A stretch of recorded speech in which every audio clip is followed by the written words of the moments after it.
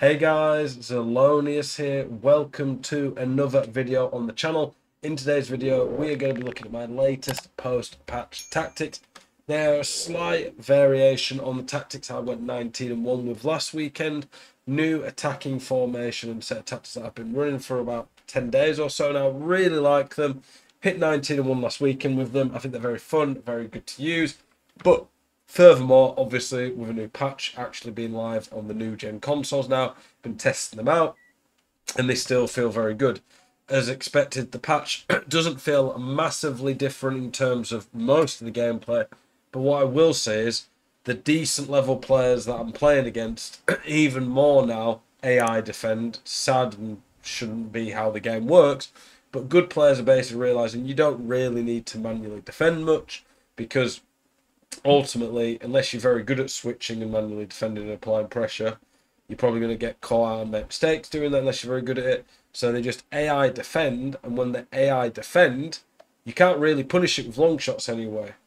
Finesse shots are good at times and definitely worth going for when you have players like Popp, Pinner, for example.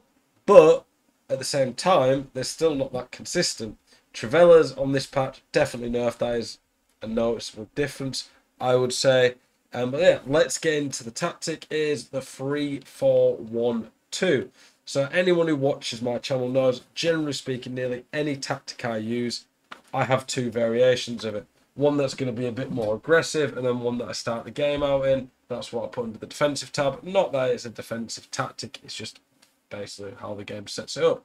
So, in terms of positions, the cam, you want someone very good on the ball. A five star weak foot is nice. Five five is obviously great, but I think a five star weak foot is really useful here. If you can get the finesse shot, that's really good. Finesse shot from here allows them from, especially with five star weak foot. Are you sick to death of getting out teamed on FC24? Want that God squad you've always been dreaming of? Check out IGGM.com today, the best and most reliable place to get coins for your ultimate team. Use the link in the description and code ZEL at checkout for a 5% discount. Check out IGGM.com today. Lots of different angles to be a threat outside the box. And then long ball or incisive pass. Either of those are very nice. So I think Pinner as um or Pina, I don't know how to pronounce it. She's a very good value, one of the best value SBCs we've had this year. Um, don't think she's like some top top tier card, but for 150k, top tier value. She has incisive pass finesse. She's perfect in the cam role. For the wingers, you need a lot of pace. Um, if you can get a winger who's got good defending and high high work rates, that'd be perfect. But there's not many of them at all. Davies high medium does the job really well though. Mbappe doesn't track back as much, but he's an absolute outlet out wide. If they can shoot, dribble, that is a big benefit as well. They're kind of like fullbacks though. Um, the forwards have good play styles. Finesse is nice. First touch rapid quick step, technical, things like that. Um, Rooney, really good card though. Even though the Trivela got nerfed, Trivela playstyle doesn't do a lot. But for me, the two strikes front, you want pace, good shooting, good dribbling, just all the good stuff that they mid uh, strikers should have. Midfielders, I want at least one of these who's very good going forward. That for me is Xavi, five star weak foot, gold technical, gold long ball, and ideally both midfielders have long ball. Long ball from deep, allows you just at times to catch people off guard. They don't expect it. You can play crazy through balls. You can get some very easy goals and just some nice creative play with the long ball play style. Kimmich and Xavi have that. Absolutely devastated that Kimmich and Bayern lost that first game. I thought it was almost a bank that Bayern are getting through that game. They should still get through only a one goal deficit and they're at home next. But he's already lost one potential upgrade. That's pretty frustrating because this card, Kimmich already, he is very, very good. The fact that he's already very good and he's missing out on an upgrade a shame because it could have been an absolutely outrageous card. That's already lost quite a bit of potential. Um, Bayern under two Tuchel just don't look the best of this. I'm not too confident thinking about that they're going to go really far in the Champions League. Anyway, good defending, box to box, passing play styles. That's what I want in midfield. If they can shoot like Xavi and have five star weak foot, that is a plus. Outside centre backs need to be fairly fast. Saliba and Lukeba have that. Um, ball playing centre backs really like as well. This formation is crazy in terms of the attacking patterns it have. You can play all over the pitch. So players with pinged pass, long ball, who can just out of nowhere turn defense into attack, catch people out when they make any mistake. It's brilliant. This formation has options all over. In terms of the tactics, 40 width, 55 depth. I use that generally, and then 40 71 for my more attacking on most formations. It works. Don't know, just for me, works really well. I do though go a bit higher width in this. I want to uh, basically force teams to defend out wide against me, and then when they leave men out wide, I've got a cam and two strikers in the middle, cuts them open through the middle with that triangle. The instructions: stay central, stay forward on Popp. Now this is key here. To make this a really tough formation to break down defensively, I have a striker with high defensive work. Both Popp and Rooney do.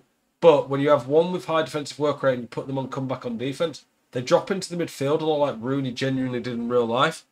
It makes a big difference. Pina often is further forward than Rooney unless I keep the ball for quite a while. Rooney will play up front properly when you're getting possession, but someone with relentless, with good stamina, high defensive work rate, and come back on defense will help out a lot. And honestly, this makes this formation so much better defensive than it used to be because the comeback on defense work rate actually seems to do something this year. Uh, come back, stay wide, getting behind on both wingers. So it means they are defending, but they're staying wide, making runs in behind to stretch teams out. Stay back while attacking cover centre on your more defensive minded midfielder. You don't want this formation to be so gung ho, so attacking that you just get caught out. Balanced cover centre on the other one, and then my centre backs and keeper left on default. For a more attacking one, press after possession loss, 71 depth. I do lower the width slightly just to be a bit more central. Then for the attacking, the only difference really is Rooney's on basic instead of um, come back. I don't want him to be quite as defensive here. And then I have uh, Mbappe on basic instead of come back. So Mbappe is a little bit more attacking. Uh, have them on getting to the box in this one, a little bit more aggressive in general. So nothing too massively different there. But yeah, really fun formation, brilliant going forward. Defensively, make sure you have that striker comes back. But it, honestly, it does work really well. We'll have a quick look at the new season stuff before we finish. Mascot Madness, apparently. Let's go. Um, we'll look at some of the key stuff. There's quite a few ones here. quite funny, some of these. Probably won't be a Villa one, sadly. Uh, this Merlin looks pretty good, obviously. Free, free, whip pass, other play styles pretty good. Not bad on the ball, solid defended, good stamina. Yeah, pretty good for free. Some okay packs. Musa, 90 pace. Milan's pretty good. Brilliant play style there. Really fast. Good play styles in general. Very good card. Just if he just needs four star weak for really. Um Porto's uh and Benfica. Some interesting mascots here. They should have mascots at the start of the draws. So one of three future stars. Don't know what the half means. 85 times 7, not bad. 85 plus, 84 times 4. 85 times 10 or 87 times 4. I'd go for the 87 probably. You can already see at the end there a Luis Figo. Um, Thunderstruck Figo. It should be a better card at this point of the game. This is by the time you can get this in what three weeks, it's going to be March. That card came out four months ago and was fairly mid within that promo itself. Um, that's not it, in my opinion. A midvert card from a promo that came out four months ago. Do better, EA. Um, the packs, though, as always, not bad. EA want you to go for the packs because they can rig the packs to be awful. There you go. Appreciate you guys watching the video. As always, keep it spicy. I do hope to see you guys in the next one. Peace.